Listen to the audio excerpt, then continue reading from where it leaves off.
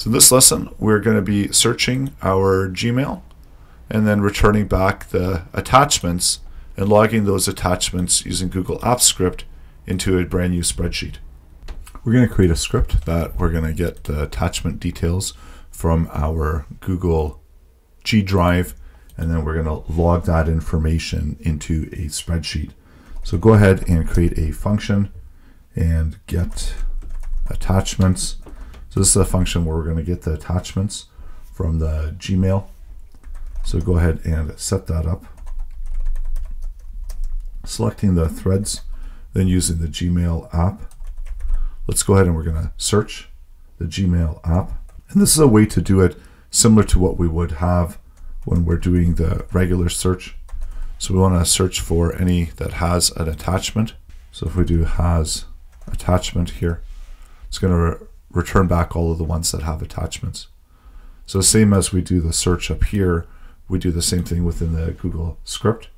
And then uh, let's use the log and we'll see how many threads that we're able to pick up. And we need to accept permissions once again because this script is asking for additional permissions that haven't been provided yet for the script. So there's our Gmail threads. There's the three that the same three that we picked up within the search results. And now we can loop through it and we get, can get some of the details from those threads. So looping through, and let's use the for each. So that will pick up each individual thread. And these are objects. The threads are going to be objects. So in order to get the messages from the thread, so a thread can contain messages, get the thread, and then get and these are all the values that we can get. So we want to get all the messages within the thread and output the message object into the log. And this is just for uh, debugging. So we've got all of these Gmail messages and there's only one message in each one of the threads. So sometimes if you've got responses and so on, you're going to get more messages into the thread. So as we go through the messages, we can loop through each one of those and I know that in this case we only have just the one, but this will make the script more flexible. And instead of logging out the messages, we'll just log out each message. And we'll see what we got there. So run the script again. And then we've got Gmail message at this point.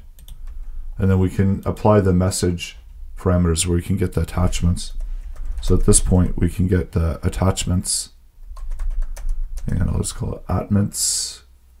Uh, so for the message, then we can get the attachments. And this is also going to be an array. And one of them we did notice that there's multiple attachments. So this will get all of the attachments within all of the emails. So there we've got the Gmail attachments. And these are arrays also. So we could do something like this where we do the length. So within here, this is where we can use the object methods where we can get things like the name, the size, and so on, some of the details of the attachments. So there we've got the names of the attachments. So here let's go ahead and we're going to create a brand new sheet that we can log the content into. We need to select the spreadsheet. So using the spreadsheet app, open by ID, and then we can specify the ID value. And I'll just set this uh, ID value here within the function itself. So there's the ID that we're using. And I like to lowercase it unless I have a global value. So get the ID. So that's going to select the spreadsheet object for that ID. And then we want to create a sheet. So within the spreadsheet, insert a sheet.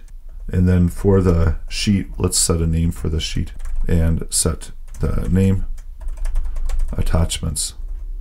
So it's going to be logging out all of the attachments. And then here we can create an array in order to add the content into the sheet. And going through what we're able to pick up from the sheet itself for the attachment. So let's uh, start out by setting a name for the attachment. And then we can get the other parameters, whatever else we want to get. So we can get the size of it. And there's also a number of other items that we can get. So we can get the bytes, so give us some information and then take the sheet and append row and append the row of the new data that we've just picked up. So let's run that. So it's coming in as an object there, and the bytes is actually being returned back as an object. So let's update this to grab something else, and we can get the content type. And we already have one called attachments. So it's actually going to throw an error on that. Let's run it again. And now it creates the attachments sheet and it tells us what type of content it is. So that's how you can get that's how you can get your attachments from your Gmail account.